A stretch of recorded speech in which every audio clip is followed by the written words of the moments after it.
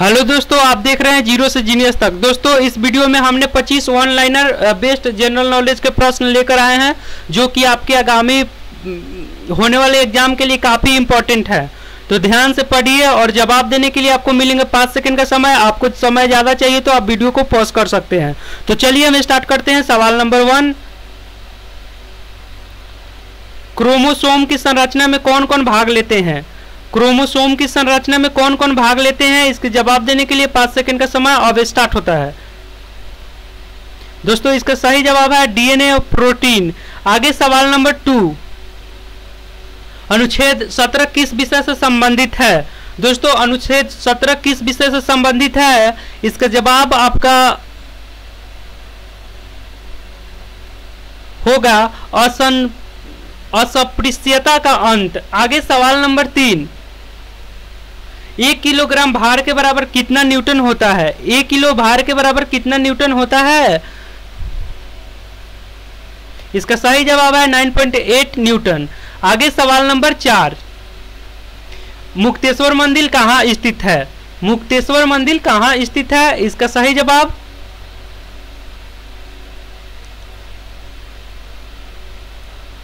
इसका सही जवाब होगा भुवनेश्वर में। आगे सवाल नंबर पाँच। पृथ्वी का भूमध्य रेखीय व्यास कितना होता है? पृथ्वी का भूमध्य रेखीय व्यास कितना होता है? तो दोस्तों, इसका सही जवाब होगा बारह हज़ार सात सौ छप्पन किलोमीटर। आगे सवाल नंबर छ। मेडोना किसकी चित्रकृति है? मेडोना किसकी चित्रकृति है? इसका जवाब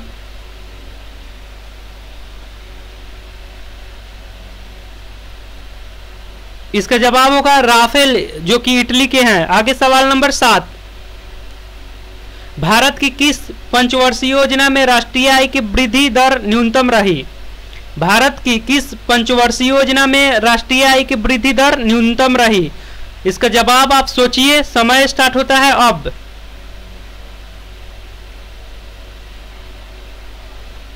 इसका सही जवाब होगा तृतीय पंचवर्षीय योजना में। आगे सवाल नंबर आठ। रिंग वेद में किस अपराध का सबसे अधिक उल्लेख किया गया है? रिंग वेद में किस अपराध का सबसे अधिक उल्लेख किया गया है? दोस्तों, समय स्टार्ट होता है अब।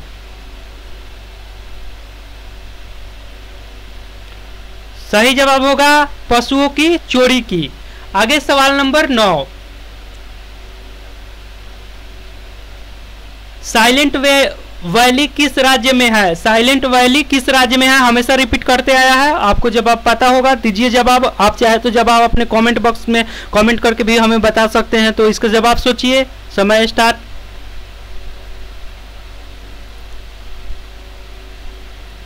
इसका सही जवाब होगा केरल में। आगे सवाल नंबर दस। जब दो इलेक्ट्रॉन एक ही कक्ष में होते हैं तो उनमें क्या पाया जाता है? जब दो इलेक्ट्रॉन एक ही कक्ष में होते हैं तो उनमें क्या पाया जाता है? दोस्तों, समय स्टार्ट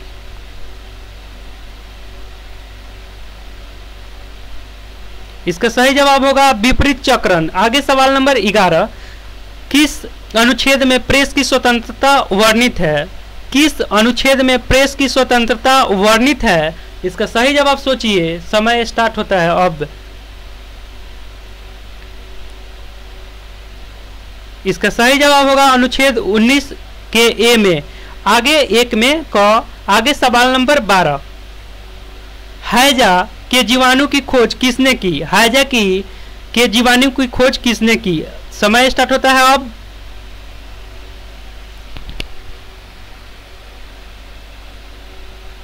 इसका सही जवाब है रॉबर्ट कोच ने। आगे सवाल नंबर तेरह।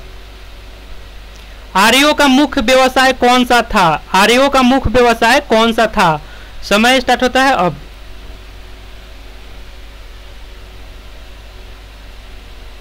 इसका सही जवाब है कृषि। आगे सवाल नंबर चौदह।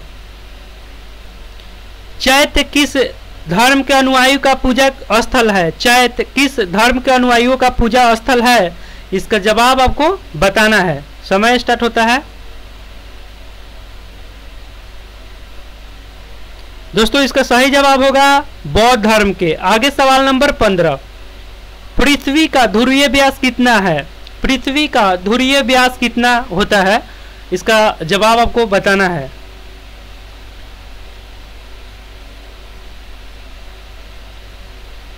इसका जवाब होगा 12,714 किलोमीटर। आगे सवाल नंबर 16 महिलाओं की ओलंपिक में भागीदारी सबसे पहले किस वर्ष हुई? महिलाओं की ओलंपिक में भागीदारी सबसे पहले किस वर्ष हुई? इसका जवाब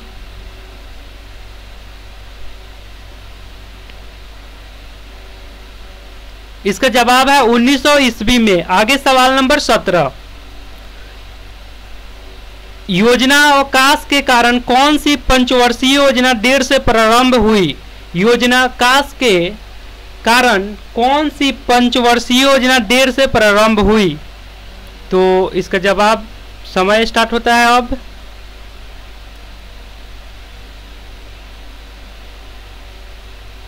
दोस्तों, इसका सही जवाब है चतुर्थ पंचवर्षीय योजना अवकाश के कारण। आगे सवाल नंबर 18 पुलकेशिन द्वितीय ने हर्षवर्धन को पराजित कर कौन सी उपाधि धारण की? पुलकेशिन द्वितीय ने हर्षवर्धन को पराजित कर कौन सी उपाधि धारण की? इसका सवाल का जवाब आपको देने के लिए समय स्टार्ट है, सोचिए।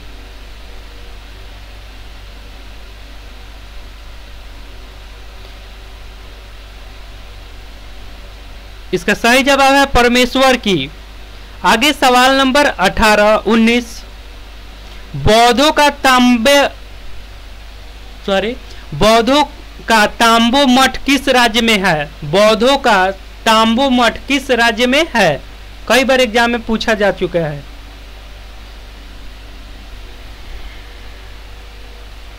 इसका जवाब होगा हिमाचल। हिमाचल प्रदेश में। आगे सवाल नंबर 20 किसका गुण सूत्र शैतान में लिंग निर्धारण के लिए उत्तरदायी हुआ है? किसका गुण सूत्र संतान में लिंग निर्धारण के लिए उत्तरदायी हुआ है? तो दोस्तों ये पॉपुलर क्वेश्चन है जवाब तो आपको पता होगा। सोचिए। इसका सही जवाब है पुरुष का। आगे सवाल नंबर 21 किस अनुच्छेद के तहत विधि के समक्ष समना, समानता वर्णित है? किस अनुच्छेद के तहत विधि के समक्ष समानता वर्णित है? दोस्तों, इसका जवाब सोचिए।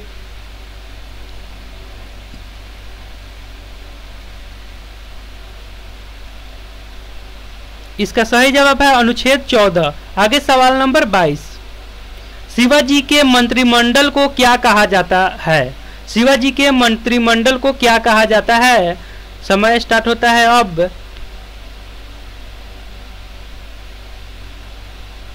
इसका सही जवाब है अष्ट प्रधान आगे सवाल नंबर तेईस। शिवाजी ने किस भाषा को राजभाषा बनाया? शिवाजी ने किस भाषा को राजभाषा बनाया? इसका जवाब देने के लिए समय स्टार्ट है।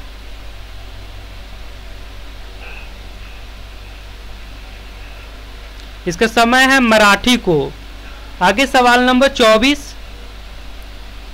तरनेश्वर मेला किस राज्य का प्रसिद्ध मेला है? तरनेश्वर मेला किस राज्य का प्रसिद्ध मेला है? दोस्तों, समय स्टार्ट।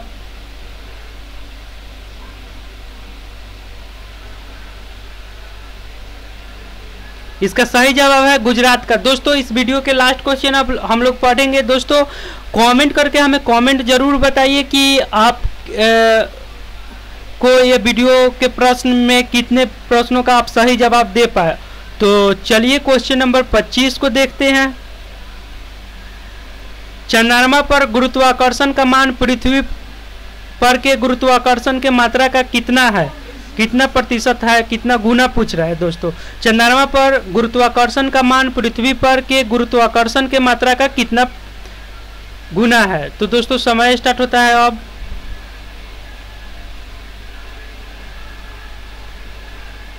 इसका सही जवाब होगा वन अपॉन छ एक बाई छ आगे आपसे एक सवाल पूछ रहे हैं दोस्तों, उसका जवाब अगर आपको पता है तो आप कमेंट बॉक्स में हमें कमेंट करके ज़रूर बताएँ।